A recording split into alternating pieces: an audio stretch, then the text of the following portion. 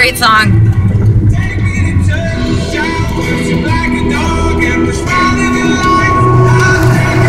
Take me to church. Unless you want it to still be standing by the time we leave, then you might not want to take me to your church. Just kidding. Anyway, I'm really annoying the hell out of myself today. So, thinking I might have PMS because all those little things that are making me angry and triggered, the ladies know what I'm talking about.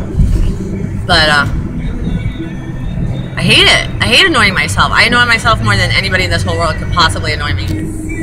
But I, I just made two videos before this, and they were pretty good videos. And the first one, I just looked so disgusting that I just couldn't bring myself to post it. So I'll probably post it somewhere hidden for later when I'm not here anymore, and I don't care.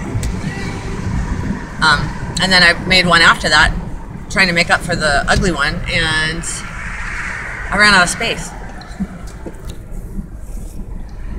I really annoy myself. Anyway, I'm driving on thinking about group next week and what we can do in group because all day I drive around and I go through these situations like Scotty, uh, everybody basically, and learn how to deal with people and structure, you know, put put boundaries around them so you can have them in your life or decide not to have them in your life. Like we just do this all day, every day. So I started thinking about while I'm driving here, listening to my song, about how I speak through so many different methods. You know, video, video clips, lyrics, movie clips.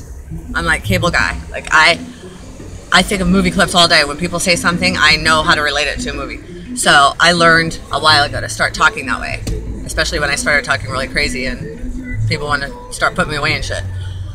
I had to start using the symbolism too.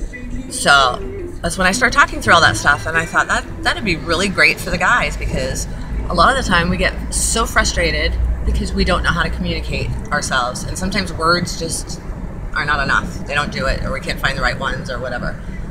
So I'm gonna prepare a list of stuff all week long that we that we can do to speak without having to use words, so that we can always find some common language that we have between us. When one doesn't work, we can pull another one out of our big blood bag.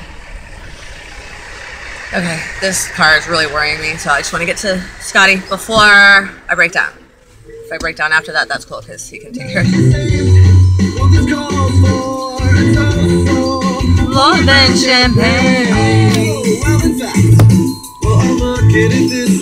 Technically, our marriage is saved.